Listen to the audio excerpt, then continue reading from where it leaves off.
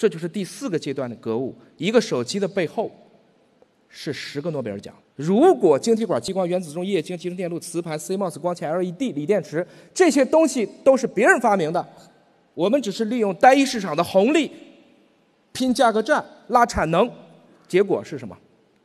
这就是我们今天的一种智障的困境之一。一旦卡脖子卡在根儿上，你就没有办法了。这是我反复强调，在科研界我们有一句话：如果一个实验室它只能买设备，它最多是一流，绝不是领先，因为能买到的设备都不是最先进的设备，买到的设备都是第二档的设备。只有自己能造硬件，能自己有自己的种子，这个才可能是我们说的成为这个领域的一个引领者。科学、技术、工程。数学、制造业，包括艺术，我们今天还是要承认，科学的中心在美国，艺术的中心今天来讲还是在欧洲，中间都是我们今天中国的机会。我们的大科学工程，我们的制造业，包括中国的抗疫，本质上讲，我们是用大概二流的技术，但是用超一流的社会组织，我们才换来了今天这样的一个局面。所以从这个意义上讲，我们下一步应该做什么？我们先把科和技拆开来讲。科技这个词大家经常连用，但本质上讲，science 和 tech 这是不一样的。这两个是一个密切联系但有本质区别的两个概念。我再强调一遍，我们今天讨论很多产业上的卡脖子，本质上是科学上的卡脑子。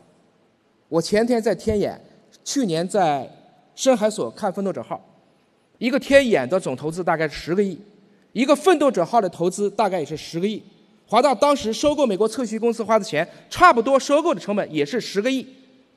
这种大科学工具，每一个都是十个亿，听起来很大，但是我们今天的桥隧造一公里是多少钱？在座的各位可以去想一想，我们今天在科学的大科学工程的基础装置上，到底是投多了还是投少了？科学从古希腊的时候带过来的词叫无用之用。本质上，它就是知识，知识没有高低，人人都可以做科学，它是好奇心驱动。技术是有用之用，是由量化目标所驱动的。而我们谈到的工程叫为工之用，你造出这个东西是要算投入产出比的，它是由经济目标去驱动的。而我们今天人类要想再往前走，需要的是大科学工程，这个东西是由使命目标大目标驱动的。这个时候，科学家说的往往不算，两弹一星。阿波罗登月，这本质上讲是科学家说服了政治家共同驱动的。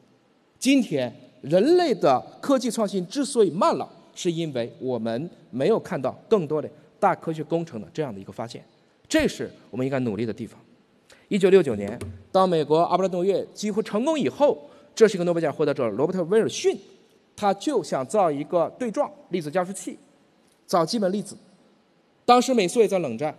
他在做答辩的时候，在国会上，这些美国的参议员就问他：“你说，我给你造这个这么贵的一个东西，它对保护这个国家有什么帮助吗？”我是半夜看了这一趴的东西，看完了这个答案，我一身冷汗。他怎么回答的？有帮助吗？没有任何直接帮助，除了他可以证明这个国家更值得被保护。这就是这个国家要发展科技的本质。钱可以印。一流的科技买不来的，必须坚持自主，这就是天眼存在的一个根本的意义。在过去，我们这种大口径的射电望远镜，大家都要去美国的阿雷西博，三百零五米直径，这个是五百米直径，所以天眼叫 fast five hundred 一个射电望远镜，它的灵敏度是阿雷西博的三倍，所以差不多现在全球有一半多的这种超新星，包括我们各种各样的一些超强的磁暴。